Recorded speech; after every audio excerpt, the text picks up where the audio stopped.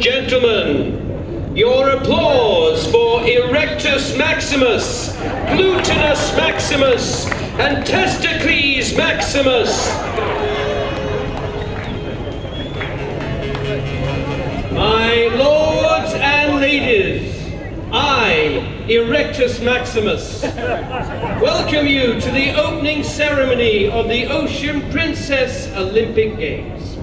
Before you stand our competing teams who will compete and play and play and compete. Robin Hood, Robin Hood, riding through the glen. Robin Hood, Robin Hood, with his band of men. We'll commence with the first of these Olympian contests, the ball to knees relay. Testicles Maximus, better known as Great Balls of Fire. We now declare these games to be officially open. let's! Go, go, go, go, go,